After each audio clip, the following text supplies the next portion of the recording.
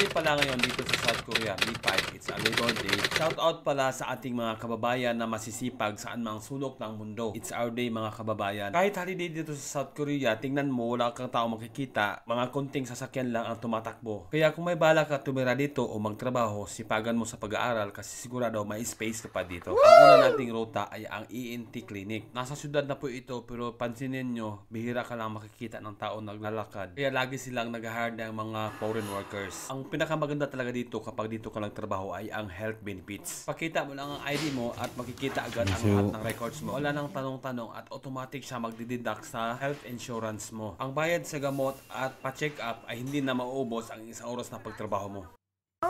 이건 아침 저녁으로 코에다 뿌리는 거예요? 아침, 점심, 저녁도 아침 저녁만 두 번만. 아, 두 번. 네.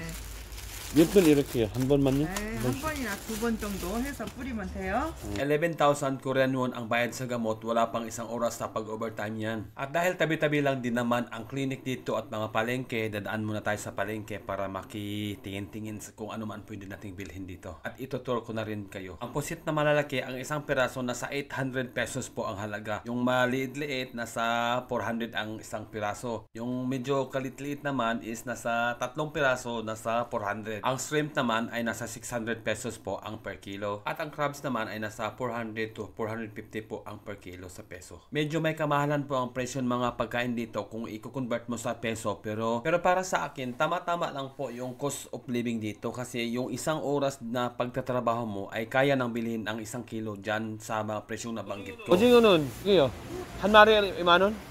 Nasa tabi lang din yung mga gulay, pechay, carrots, ano pa yung mga iba dyan. Sibuyas, bumbay, kamatis, lahat-lahat na andyan na. Ah. Kaya pumunta ako sa kabila para maritisin yung presyo doon. Baka minsan kasi mura din minsan kapag tanghali na. May mga isda dito na bihira lang kinakain sa Pilipinas pero dito sobrang mahal. 1,200 ang isang peraso pero butiti minin sa atin. Pagkatapos ko mag-ikot-ikot sa palengke ay pumunta ako sa isang sikat na burger franchise. Kung sa Pilipinas ay Jollibee, dito naman sa South Korea ay Loteria. Ito Lang ang number na gusto mo. 저기 5번요. 예. 예, 하나만요. 얼마예요? 예, 예. 여기 먹어요. 예, 잠깐만요. 35. 예, 예. 35번요? Yeah.